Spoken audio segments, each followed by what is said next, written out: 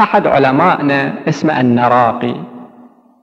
هذا مؤلف كتاب جامع السعادات. وأوصي نفسي وأوصي الشباب الإخوة بمطالعة هذا الكتاب. اشتروا هذا الكتاب وطالعوا خوش كتاب في الأخلاق جامع السعادات. ألف هذا الكتاب انتشر هذا الكتاب ووصل هذا الكتاب بيد بحر العلوم. هذا العالم اللي كان له حكايات عجيبة في لقائه مع الإمام الحجة صلوات الله عليه.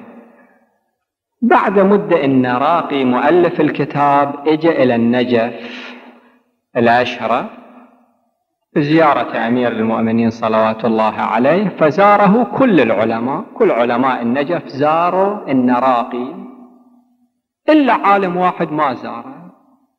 من ذاك العالم؟ بحر العلوم. وهو العالم المعروف المشهور ما زار النراقي. الناس تعجبوا. ليش؟ النراقي فكر أنه هو ما زارني. طبقا للقواعد القادم يزار. بحر العلوم لازم يزور النراقي مؤلف جامع السعادات. قال ماكو فرق هو ما زارني أنا أزوره. النراقي مؤلف جامع السعادات راح زار بحر العلوم خلافا للأصول الاجتماعية. بحر العلوم ما اعتنى به ما دار لباس يعني مثلا عالم جاي بدأ بالزيارة تفضل. ما اعتنى به مثلا قال له مساكم الله بالخير. وما اعتنى به أنه هذا عالم معروف متمهر كاتبين في أكثر العلوم كان في المعقول والمنقول. بحر العلوم ما اعتنى بالنراقي ما قال شيء نراقي وراح رجع بيته المفروض الآن بحر العلوم يرد الزيارة على النراقي. ما رد الزيارة عليه. النراقي قال هو ما رد الزيارة أنا أروح لمرة ثانية أزور ما يخالف. فإجا النراقي زار بحر العلوم مرة ثانية في بيته. بحر العلوم ما اعتنى بالنراقي في المرة الثانية أيضا. جدا موقف محرج كان حقيقة رجع النراقي مؤلف جامع السعادات إلى بيته. فكر يزوره مرة ثالثة. مرة ثالثة يزور هذا العالم. فذهب إلى باب بيته. قالوا لبحر العلوم أن النراقي في الباب.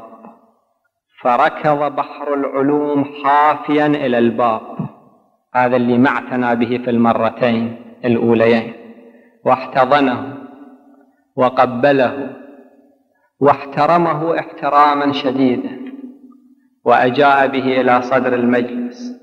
وأخذ يحترمه احتراما كبيرا في المرة الثالثه ثم قال بحر العلوم للنراقي أنا قريت كتابك جامع السعادات. من أول إلى آخر. شفت خوش كتاب. في الاخلاق أنا ردت أشوف فعلك مثل قولك. لو يختلف فعلك عن قولك. أنا ردت أمتحنك بهذا العمل.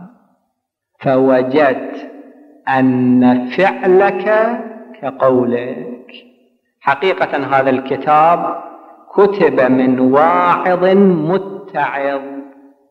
وأنت بنفسك كتاب في الأخلاق. مو فقط كتابك هو كتاب في الأخلاق. أنت بنفسك معلم للأخلاق وكتاب في الأخلاق.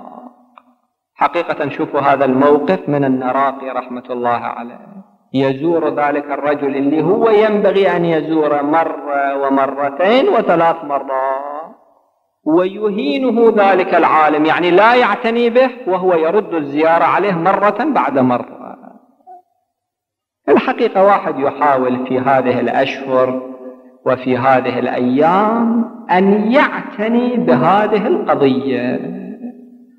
ويستمد من الله سبحانه وتعالى العون على هذه النفس الشريرة. الإنسان لازم يدعو اللهم احفظنا من شرور أنفسنا لأن أهم شر يأتي للإنسان من قبل نفس الإنسان. اللهم احفظنا من شرور أنفسنا وسيئات أعمالنا. قد أفلح من زكاها وقد خاب من دساها.